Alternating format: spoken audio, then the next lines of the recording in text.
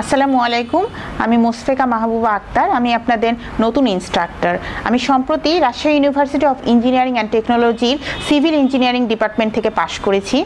আমি আপনাদের mainly BCS রিটেনের যে ইলেকট্রিক্যাল অ্যান্ড ইলেকট্রনিক টেকনোলজির পার্টটি রয়েছে, সেটি নিয়ে আলোচনা করব। প্রতিটি পার্ট ধরে ধরে প্লেলিস্টে সাজানো থাকবে, এতে স্টুডেন্টদের অনেক সুবিধা হবে। ধন্যবাদ।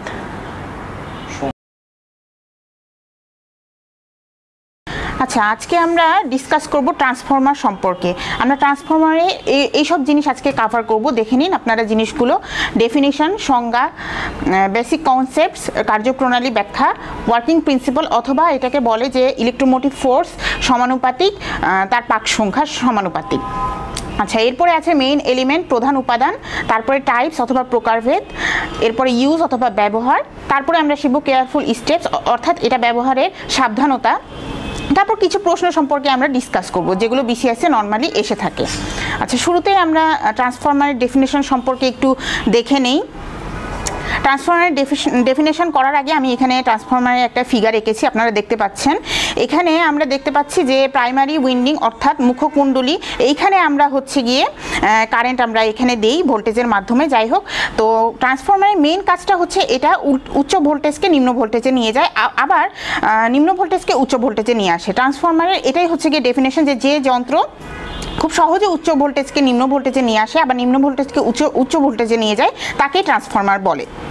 এখানে আমরা ট্রান্সফরমারের ফিগারে দেখতে পাচ্ছি যে প্রাইমারি উইন্ডিং অর্থাৎ মুখ্যকুণ্ডলিতে আমরা কারেন্ট প্রবেশের ফলে কোনো কানেকশন ছাড়াই কিন্তু সেকেন্ডারি উইন্ডিং অর্থাৎ গৌণ কুণ্ডলিতে কারেন্ট চলে যায়। কারণ আমরা যখন এসি কারেন্ট অর্থাৎ অল্টারনেটিং কারেন্ট ইউজ করছি, তখন এসি কারেন্টের কাজই হচ্ছে যে উচ্চ ভোল্টেজকে নিম্ন ভোল্টেজে নিয়ে যাওয়া, অর্থাৎ কারেন্ট কারেন্ট চেঞ্জ করা। এই কারণে আমরা যখন প্রাইমারি উইন্ডিংয়ে কারেন্ট দিচ্ছি, তখন অটো একটা এখানে তড়িৎচুম্বকীয় আবেশের মাধ্যমে একটা প্রবাহ চলে যাচ্ছে। সেটা চলে যাচ্ছে সেকেন্ডারি উইন্ডিংয়ে এর ফলে এখানে কারেন্ট অটো একটা জেনারেট হয়ে যাচ্ছে। এটাই হচ্ছে ট্রান্সফরমারের মেইন মেইন উদ্দেশ্য। এবার আমরা দেখি এর পরের কোশ্চেন বেসিক কনসেপ্ট অথবা কার্যপ্রণালীর ব্যাখ্যা। এই ব্যাখ্যাটা হচ্ছে আমরা এইভাবে দেখতে পাই যে এখানে একটা ফিগারের মাধ্যমে দেখতে পাই। যে এখানে আমরা লো ভোল্টেজটা আমরা নিয়ে যাচ্ছি স্টেপ আপ ট্রান্সফরমারের মাধ্যমে এটাকে উঠিয়ে মানে লো ভোল্টেজটাকে উঠিয়ে হাই ভোল্টেজ করে দিচ্ছে। তারপর সেইটা আবার স্টেপ ডাউনে এসে আপনার লো হয়ে যাচ্ছে। যেটা ইজিলি আমরা বাসা হসপিটালে আমরা খুব ইজিলি ব্যবহার করতে পারি। এটাই আসলে কার্যপ্রণালীর ব্যাখ্যা। আচ্ছা আমরা এর পরের প্রশ্ন দেখতে পাচ্ছি যে ই সমানুপাতিক এন আমরা জানব এটা যে ই কি আর এন কি জিনিস, অথবা আসতে পারে যে ট্রান্সফরমারে ওয়ার্কিং প্রিন্সিপাল বলতে কি বুঝো। তো এটার উত্তর আমরা এভাবে দিব যে ই এখানে বলতে বোঝায় ইলেকট্রোমোটিভ ফোর্স অর্থাৎ তড়িৎচালক বল, এবং এন বলতে বোঝায় যে নাম্বার অফ টার্মস অর্থাৎ পাক সংখ্যা অথবা কুণ্ডলী সংখ্যা। এটার প্রমাণটা আমরা এইভাবে করতে পারি যে ফ্যারাডের ল থেকে আমরা দেখতে পাই যে ই ওয়ান অর্থাৎ এটা হচ্ছে গিয়ে প্রাইমারি কুণ্ডলী এবং ই টুটা হচ্ছে সেকেন্ডারি কুণ্ডলী। তো প্রাইমারি কুণ্ডলীর এতে ফ্যারাডি সূত্রটা প্রয়োগ করে আমরা দেখতে পাই যে E one equals to minus N one D five বা ডিটি এটা হচ্ছে ফ্যারাডের ল থেকে আসছে। এরপরে সেকেন্ডারি কুণ্ডলিতে আমরা আবার ই টু দেখতে পাই যে minus N two D five by DT অর্থাৎ আমরা দুইটা সমীকরণ পেয়ে যাচ্ছি। এই দুইটা সমীকরণকে যদি আমরা ভাগ করি, এক, কে দুই দিয়ে ভাগ করি, তাহলে আমরা দেখতে পাবো যে সব কাটাকাটি হয়ে যায় এবং থাকে E one by E two equals to N one by N two অর্থাৎ এখানেই আমরা পেয়ে যাচ্ছি ই সমানুপাতিক এন এইটাই হচ্ছে ট্রান্সফরমারের আদর্শ সূত্র। আচ্ছা এরপরের প্রশ্নে আমরা চলে যাই, যেটা হচ্ছে মেইন এলিমেন্ট অথবা প্রধান উপাদান। ট্রান্সফরমারের প্রধান উপাদান কি কি? এটা আমরা দেখতে পাচ্ছি যে তেত্রিশতম এবং উনত্রিশতম বিসিএসে এসেছিল। এটার উত্তরটা হবে যে ট্রান্সফরমারের মেইন এলিমেন্ট হচ্ছে দুইটা। কি কি? সেটা হচ্ছে প্রাথমিক অথবা প্রাইমারি কয়েল এবং দ্বিতীয় হচ্ছে মাধ্যমিক অথবা সেকেন্ডারি কয়েল এরপরের প্রশ্নে আমরা চলে যাই। এখানে ট্রান্সফরমারের টাইপস আছে, প্রকারভেদ আছে। মেইনলি এই প্রশ্নটাই বেশি আসে যে কার্যপ্রণালী অনুযায়ী ট্রান্সফরমারে ট্রান্সফরমারকে ভাগ করো। এটাই হচ্ছে কি বেশি ইম্পর্টেন্ট প্রশ্ন এবং বাকিগুলো খুব কম এসে থাকে। তো আমরা প্রথমে ওটাই শিখে থাকি যে কার্যপ্রণালী অনুযায়ী ট্রান্সফরমারকে দুই ভাগে ভাগ করা হয়। সেটা হচ্ছে স্টেপ আপ এবং স্টেপ ডাউন স্টেপ আপের কাজটা কি? স্টেপ আপের কাজ হচ্ছে এটা নিম্ন ভোল্টেজকে উচ্চ ভোল্টেজে নিয়ে যায় এবং স্টেপ ডাউনটা হচ্ছে উচ্চ ভোল্টেজকে নিম্ন ভোল্টেজে নিয়ে আসে। আর স্টেপ আপে সবসময় গৌণকুণ্ডলীর সংখ্যা অথবা পাক সংখ্যা কম থাকে আর স্টেপ ডাউনে হচ্ছে মুখ্য কুণ্ডলীর সংখ্যাটা বেশি থাকে।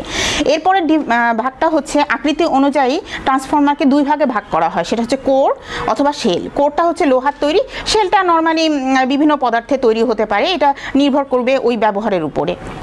এরপরে আছে শীতলীকরণ অনুযায়ী। শীতলীকরণ মানতে মানে হচ্ছে যে ট্রান্সফরমারকে ঠান্ডা করতে হলে কি, কয় ভাগে ভাগ করা হয়? সেটা হচ্ছে তেল দ্বারা এবং বায়ু দ্বারা। তেল দ্বারা এটাকে ভাগ এটাকে ঠান্ডা করতে হলে একটি মেশিনে ট্রান্সফর্মারকে নিয়ে সেটা হচ্ছে একটি পদার্থের মধ্যে ডুবিয়ে তারপরে সেটা শীতল করা হয়। আর বায়ু দ্বারা তো বাতাস দ্বারা করাই হয়। এরপরে ভাগটা হচ্ছে স্থাপন প্রণালী অনুযায়ী গৃহমধ্যে এটি ব্যবহৃত হতে পারে অথবা উন্মুক্ত স্থানে, অর্থাৎ কারখানাতে এটা ব্যবহৃত হতে পারে। এরপরটা হচ্ছে বিদ্যুৎ সরবরাহ অনুযায়ী, এটা হচ্ছে সিঙ্গেল ফেস এবং থ্রি ফেজ তারপরটা হচ্ছে ব্যবহার অনুযায়ী ট্রান্সফরমারকে তিন ভাগে ভাগ করা হয়। সেটা হচ্ছে সরঞ্জাম, অর্থাৎ রেডিও টেলিভিশন টেলিগ্রাফ এসবে এটা ব্যবহার করা হয়। আরেকটা হচ্ছে ভোল্টেজ প্রবাহতে এবং কারেন্টের প্রবাহতে এটি ব্যবহার করা হয়। এরপরে আমরা চলে যাচ্ছি এটার ইউজ অর্থাৎ ব্যবহারে। ট্রান্সফর্মার কোথায় কোথায় ইউজ করা হয়? ট্রান্সফরমারের ইউজটা মেনলি বেতার অর্থাৎ রেডিও টেলিভিশন টেলিগ্রাফ এবং টেলিফোনে এটা ইউজ করা হয়। এরপরে ঢালাই কাজে এটা অনেক ব্যবহার করা হয়। তারপরে বৈদ্যুতিক ফার্নেসে ব্যবহার করা হয় এবং শুধু এসি কানে কারেন্ট অর্থাৎ অল্টারনেটিং কারেন্টে এটা ব্যবহৃত হয়। ডিরেক্ট কারেন্টে অর্থাৎ ডিসিতে এটা ব্যবহৃত হয় না। কারণ কারণ ট্রান্সফর্মারের অন্য নামই হচ্ছে রূপান্তরক এই কারণে এটা এসি কারেন্ট এটাতে ব্যবহার করা হয়। এরপরে তড়িৎ শক্তি সরবরাহ ও বন্টনে ব্যবহৃত হয়। এরপরের প্রশ্নে আমরা চলে যাই যে কেয়ারফুল স্টেপস অর্থাৎ সাবধানতা, এটি ব্যবহারের সাবধানতা কি কি? এটা সবসময় কানেকশনটা আমাদের লক্ষ্য রাখতে হবে না তো দুর্ঘটনা হয়ে যেতে পারে। এরপরে হচ্ছে আর্থিং সংযোগ ঠিক আছে কিনা সেটা সবসময় চেক করে নেওয়া। তারপর শীতল এবং সাবধানে শীতলতা সাবধানে করতে হবে। তারপরে অন্য কাজে ব্যবহার করতে হবে। এরপর হচ্ছে সবসময় ক্লিন রাখতে হবে, এটা পরিষ্কার করে রাখতে হবে। এরপর আমরা দেখতে পাচ্ছি যে কয়েকটা প্রশ্ন যেগুলো বিগত সালে নর্মালি এসে থাকে। আসতে পারে যে আপনাদের ট্রান্সফরমারের দক্ষতা বলতে কি বুঝো? ট্রান্সফরমারের দক্ষতা বলতে আমরা এখানে দেখতে পাচ্ছি যে আমরা সবসময় জানি যে প্রাইমারি কুণ্ডলে হচ্ছে আমরা কারেন্টটা দিই এবং সেকেন্ডারি কুণ্ডলে আমরা পেয়ে থাকি।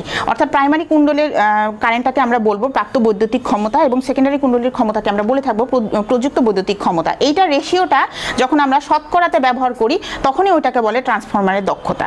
এটা সবসময় পার্সেন্টেজে হয়।